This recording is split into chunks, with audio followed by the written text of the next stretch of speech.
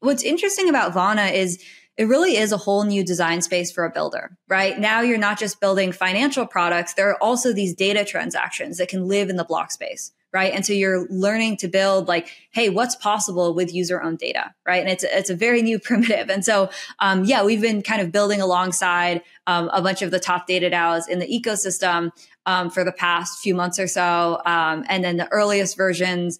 Uh, came out uh, earlier this year for the, from a, a data DAO perspective, um, but yeah, so yeah, basically progressively rolling things out. Um, I think that what you need to do well as a protocol is like um, find the right problem that the protocol needs to solve and find ways to bring other people in so they can build like really great sort of they're highly incentivized to build great parts of the system right so in our case like we don't build anything out that's kind of specific to a given data set like that is all done by the data DAOs. Um, whereas they're all kind of writing data back to the core Vana. So you can still like use this data across different parts of the ecosystem. So mainnet is a layer one, right? So uh, the native gas token is Vana.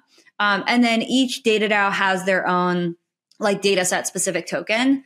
Um, it looks kind of similar to, it's like a cross between maybe like Ethereum and BitTensor tokenomics. So, um, similar to Ethereum, like, uh, Ethereum doesn't own a share of all ERC20 tokens, right? And like Vana doesn't own a share of every single dataset token um, but really acts as that kind of like coordination layer between all the different data tokens and is also kind of used for staking and as a means of payment. Um, and then for kind of a, a, small fee on every transaction on the network. Is it used for governance at all? Uh, yeah, yeah, it's also used for governance. Um, so, and that's, there are kind of two layers of it, right? So each data DAO token is used for governance of that particular data set.